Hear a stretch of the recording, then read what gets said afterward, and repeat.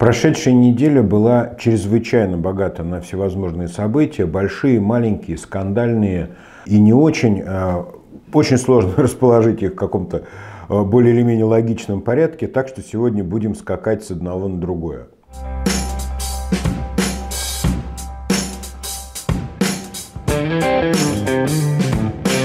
Начать я решил с того, что на прошедшей неделе Ради Хабиров и вся его администрация – демонстративно проигнорировала э, две памятные и важные даты. Э, ну, во-первых, 9 декабря отмечается в России День героев. В этот день э, традиционно чествуют героев Советского Союза, если они все еще живы среди нас. В этот день чествуют героев России всех времен, начиная с чеченских войн там, а, э, и прочих конфликтов. В общем, вот этот день, День героев 9 декабря, был полностью проигнорирован администрацией э, Хабирова, а это вообще-то обязанность именно администрации, потому что это непосредственно внутриполитический вопрос. Награда учреждена государством, государство должно заботиться о героях. Александр Геннадьевич Сидякин и его вот это вот, с позволения сказать, команда, занимающаяся внутриполитическими вопросами, а, никоим образом не обратила внимания на это мероприятие. А вообще-то а, принято поздравлять, приглашать всех героев, там, уроженцев, например, региона и так далее. Э, на данный момент 18 человек, а, героев России, живы и здравствуют на сегодня из, из числа тех, кто родился и является уроженцем Башкортостана. Так вот, примечательный факт, что ни один из них не проживает на территории Э, Башкортостана. Не знаю, что их выгнало э, из этого благодатного края, но все они разъехались в разные стороны. И э, господин Сидякин и его администрация никоим образом не позаботились о том, чтобы пригласить их, каким-то образом а, показать им свою заботу и интерес. В общем, этот, этот день был просто проигнорирован в Башкирии, как будто бы ни одного героя России из Башкирии у нас не существует. Вторым проигнорированным праздником стал День прав человека, а, на то, что господин Хабиров и его команда никоим образом не обозначили этот день в своей повестке, обратила внимание а, Альмира Жукова, которая с гневом значит, это дело зафиксировала. И действительно, юристу Хабирову, наверное, известно о важности всеобщей декларации прав человека, которую Организация Объединенных Наций заявила и а, утвердила в 1948 году, и 10 декабря каждый год празднуется День прав человека. Видимо, юристу Хабирову и его команде настолько безразличны в принципе права жителей Республики Башкортостан, что они решили, что и вообще не обязательно вспоминать о том, что у кого-то в мире они хоть сколько-нибудь существуют.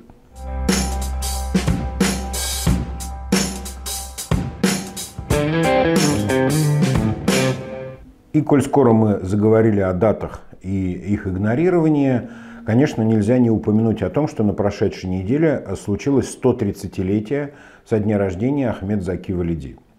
Ну, относительно круглая дата, э, которая, в общем-то, обсуждалась в информационном пространстве и полностью игнорировалась все так же традиционно официальными властями. Тут, конечно, ситуация сложнее. Это вам не всеобщая декларация прав человека. Ахмед Заки Валиди э, фигура неоднозначная, обсуждаемая уже много десятилетий э, в Башкортостане и в мире.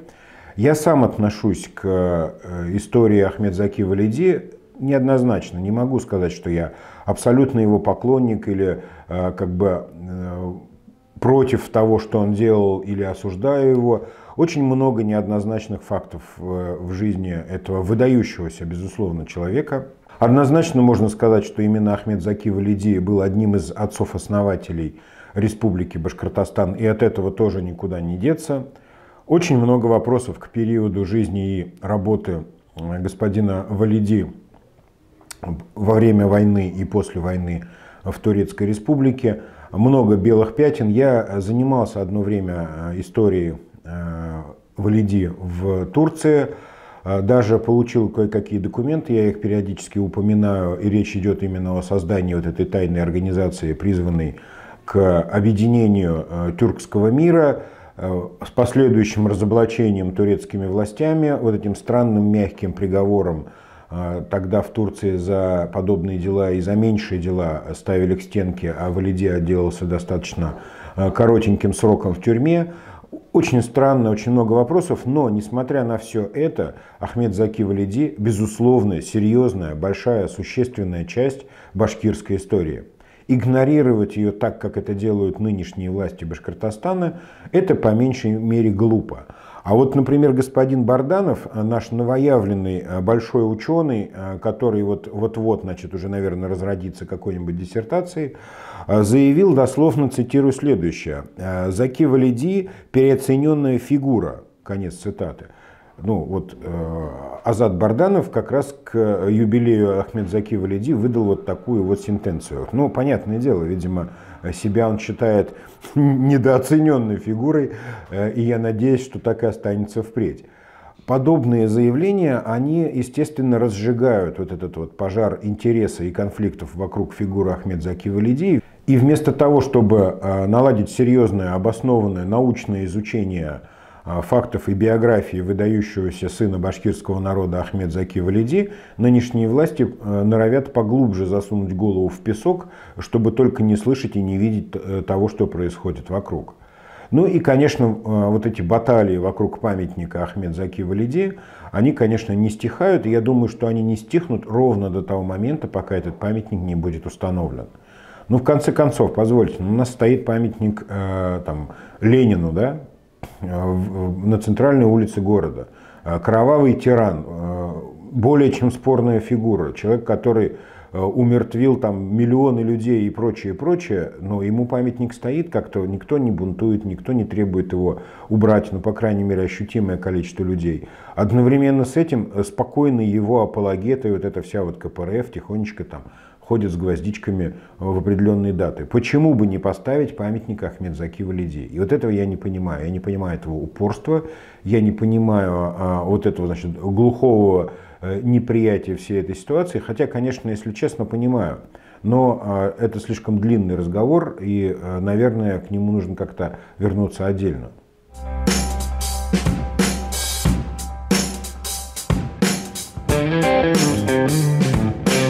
Теперь уже немножко о политике более современной, то есть сегодняшней. Постепенно становятся известны результаты консультаций, которые интенсивно идут э, в администрации президента и которые посвящены э, подбору оптимальных э, кандидатов на выборы в Государственную Думу осенью 2021 года. В частности, стало известно о том, что господина Ахмадинурова перестали рассматривать как актуального кандидата в депутаты Государственной Думы от Республики Башкортостан – Честно говоря, меня это удивило. Я полагал, что Рустем Маратович плотно и основательно застолбил за собой там местечко в Госдуме и осенью 2021 года наконец-то покинет нас, но, э, видимо, не судьба. Я не знаю, что стало причиной для того, чтобы администрация президента вот так вот резко изменила свое отношение к Рустему Маратовичу. Возможно, э, крайнее безвкусие в одежде, я имею в виду вот эту вот э, бабочку на кавалерийском мундире, может быть обилие женщин в аккаунтах, а может быть и неудачный поход в бассейн а, физкультурно-оздоровительного комплекса Никола Березовка. Э, Рустем Маратович ведет очень разнообразную жизнь. А, у него много интересного и необычного происходит в жизни. Видимо, что-то вот зацепило глаз чиновников администрации президента. Но, в общем, факт остается фактом. А нам остается наблюдать о том, как в ближайшем будущем Рустему Маратовичу не удастся занять и пост э, спикера парламента Республики Башкортостан, потому что, видимо, это последнее, на что он может рассчитывать или чего он хотеть в, в качестве некого карьерного роста, потому что, по сути, конечно, господин Ахмадинуров упустил все возможности э, внутрикомандного роста и как-то немножко подрастратился в последнее время.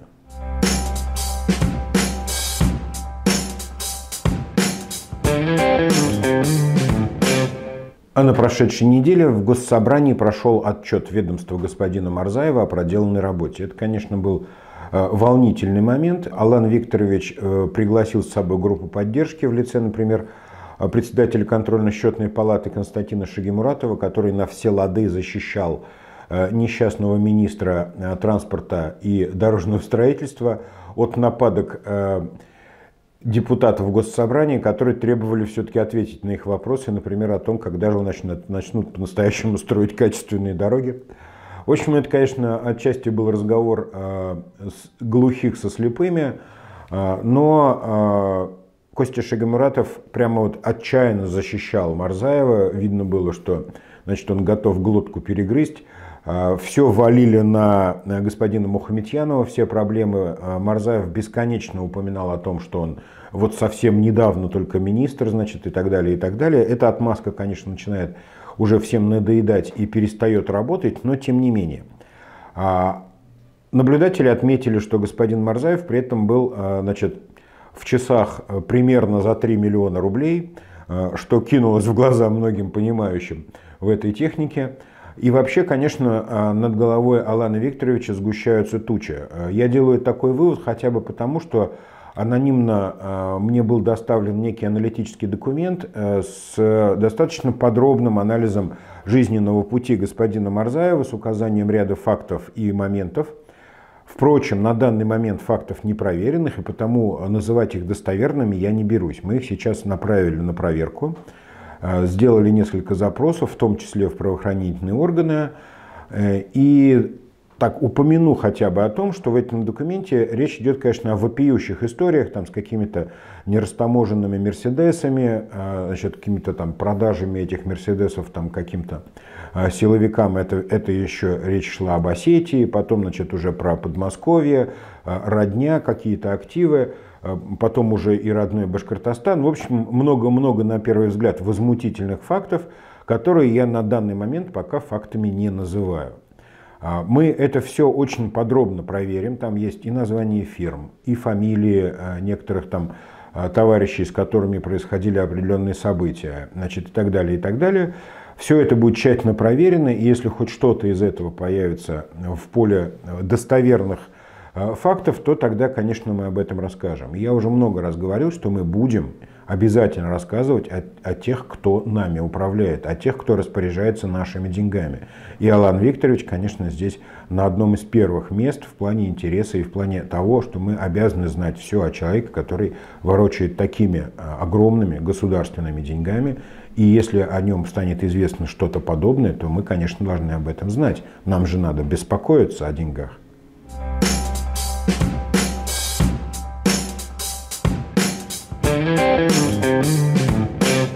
Печальная новость пришла буквально вчера. 11 декабря 2020 года стало известно о том, что издательский дом Республика Башкортостан, государственное предприятие, выставило на продажу помещение в здании а, бывшего Уфимского полиграфкомбината на проспекте Октября. Казалось бы, что тут такого? Ну, продается здание.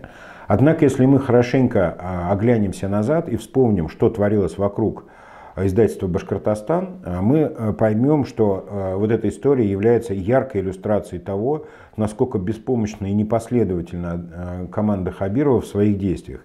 История началась, между прочим, 16 октября 2018 года, буквально через несколько дней после пришествия Хабирова в Башкортостан. Так вот, тогда господин Хабиров заявил, что издательство «Башкортостан» избежит банкротства, и распорядился подготовить все варианты его спасения буквально э, до 15 ноября все того же 2018 года. Поручено это было сделать господину э, Мурзагулову, который тогда, особенно ярко распустив перья, значит, э, участвовал во всех процессах, которые были связаны хоть как-нибудь со СМИ, значит, какими-то масс-медиа и прочими-прочими вещами. Через год, в 2019 году, было заявлено, что в здании э, полиграф-комбината на базе издательства «Башкортостан» будет э, организован IT-парк. И вот проходит уже год, и банкротство вступает в полную э, силу, и здание выставляется на продажу. Здесь мы видим четко, отчетливо видим картинку того, что команда не может справиться с задачами, декларирует неисполнимые горизонты, заявляет о своей эффективности и на выходе дает просто ноль или пшик – Э, в принципе, то же самое можно сказать там, про вот эту всю футбольную тему, куда угроблено огромное количество денег. И, между прочим, и с издательством «Башкортостан» тоже все было не бесплатно. Некоторое количество денег было направлено на э, спасение этого, э, этого предприятия. И что теперь? А речной порт, в который тоже вбухали какое-то количество денег и прочее, прочее. А футбольный клуб «Уфа», который, значит, у нас тут пшикнул во всех направлениях, да, как команда, так и тренер и все прочее, прочее. Вот э, постепенно начинается иллюстрация того, что э, происходит. Прошло два года, и мы видим, мы получаем уже накопленный эффект. Мы можем давать оценку событиям. люди конкретно не справляются.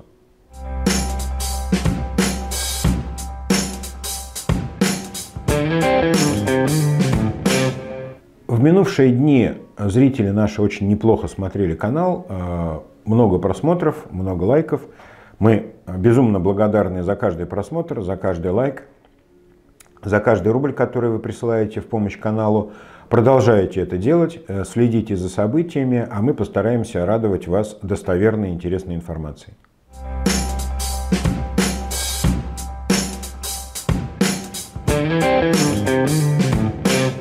Ну и, конечно же, мы не можем обойти своим вниманием самую яркую и самую скандальную историю прошедшей недели, историю с этими несчастными э, детьми из деревни Новомусина, которые вынуждены ловить интернет в каком-то заброшенном коровнике, завернувшись в полиэтилен. По крайней мере, так э, звучала информация изначально, и дальше начались пляски с бубнами вокруг всей этой истории. Важнее на самом деле даже не вот эта история с тем, что э, там, учились эти дети в коровнике, не учились эти дети в коровнике, ловили они там интернет или не ловили. Важнее реакция, во-первых, самого а, значит, информационного сообщества и реакция а, чиновников, которая в этот момент случилась. Совершенно ожидаемой и абсолютно классической реакцией была реакция «вы все врете». Буквально мгновенно э, значит, с таким тезисом выступил Айбулат Хажин, министр образования, который сказал, что это все абсолютное вранье. А, правда, а, Юла Ильясов, глава Куюргазинского района, где расположена эта э, знаменитая деревня, заявил о том, что на самом деле это все не вранье, и что э, действительно в деревне э, плохо с интернетом, и что они там работают над этим вопросом.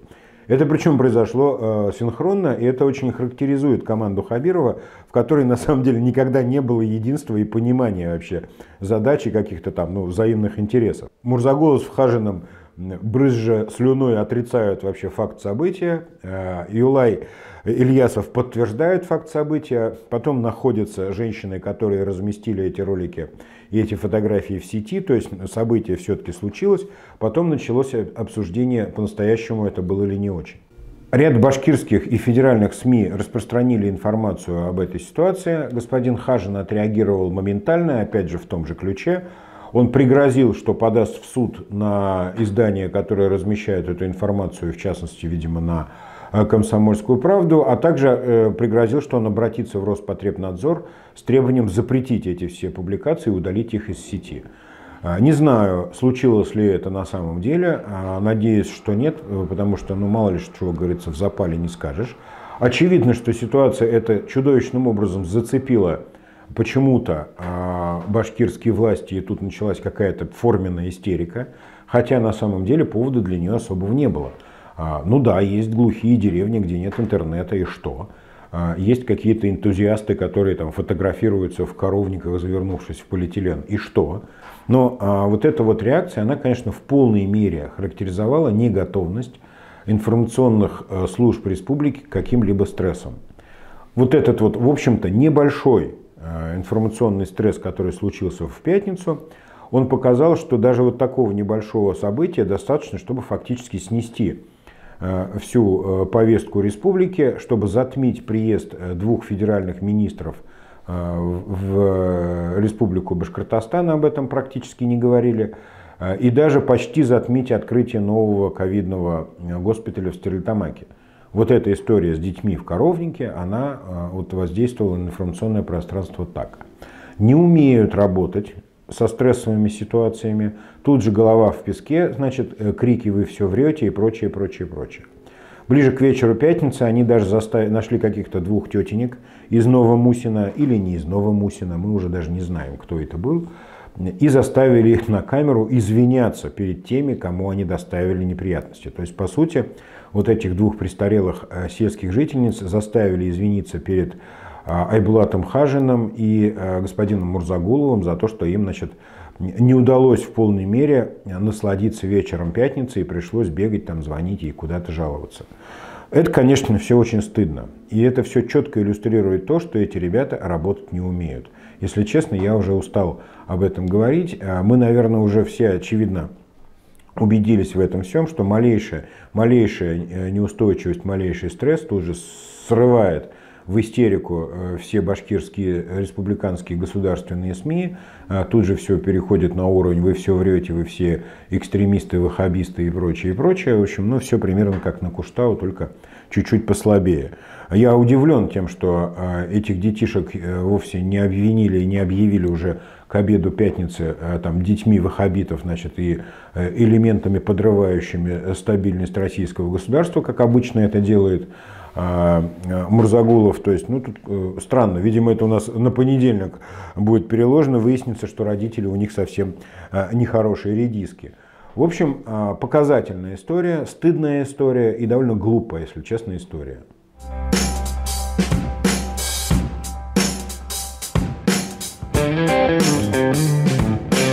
Мы продолжаем эпопею с лицеем номер один города Уфы. Вот эта история с неотлипающей кашей, с визгом э, директора, который отчитывает детей. Очень в тему тогда директор в том ролике сказала о том, что видеокамеры пишут все, имейте в виду. Именно вот в эту ситуацию теперь попала она. Потому что нескончаемым потоком э, от э, старшеклассников первого лицея нам поступают эти видео, мы их фильтруем. А, и вот на этой неделе пришло два интересных видео о том, каким образом а, производится снабжение продуктами э, пищеблока этого замечательного лицея и о том, как вообще в этом пищеблоке э, идет работа. На одном из роликов мы видим, что э, какие-то там то ли фрукты, то ли овощи, значит, прямо из грузовика сначала швыряют на землю, а потом заносят в помещение. А вот на том ролике, который снят через дорогу, значит, в окне, видно, как а повар, не одевая перчаток, э, что-то там значит, готовит.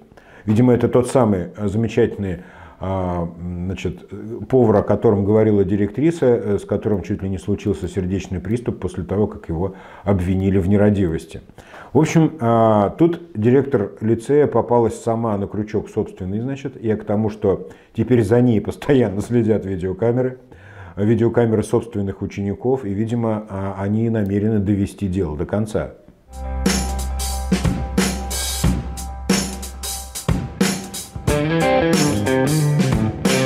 Потихонечку переходим к новостям э, более-менее э, смешным, а потом и вообще приятным.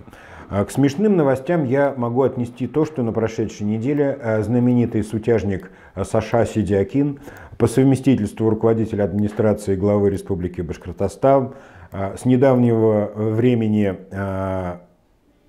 то ли денщик, то ли вестовой при военкоме Республики Башкортостан – а также большой ученый, курирующий создание э, научного центра, человек многогранный. Так вот, э, Саша Сидиакин на прошедшей неделе снова подал в суд.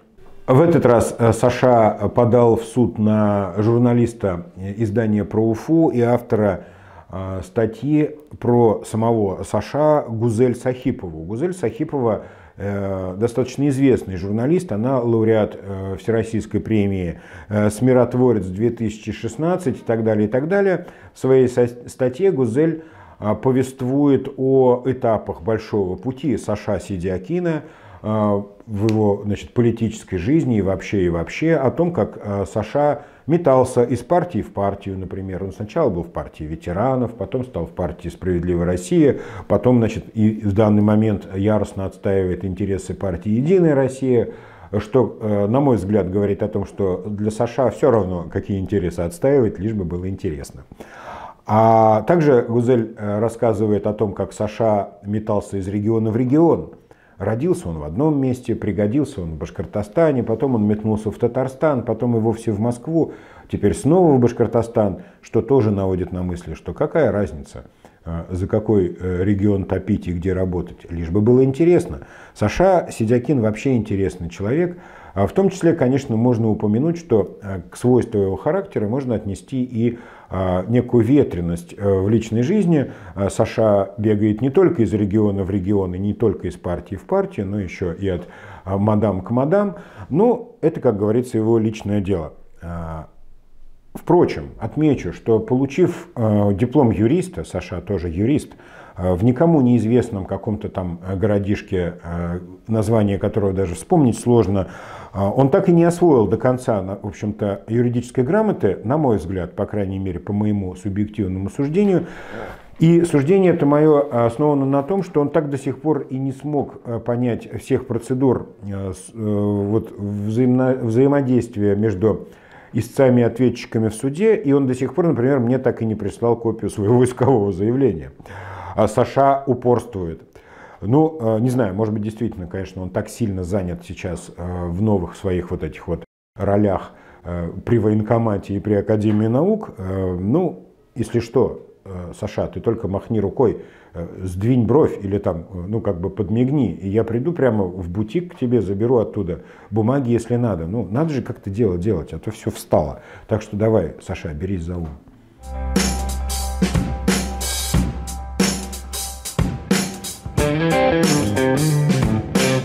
Ну и в завершении новость просто хорошая. Все мы знаем, что в минувший понедельник странным образом на оперативке отсутствовал а, Максим Васильевич Забелин, наш министр здравоохранения. А, просто без объяснения Хабиров сказал, вот, дескать, отпросился. Мы узнали. У Забелина родилась дочь, с чем мы, собственно, и поздравляем Максима Васильевича, здоровья матери и ребенку, а, успехов, ну и давайте уже начинайте заниматься нашим здравоохранением. Thank you.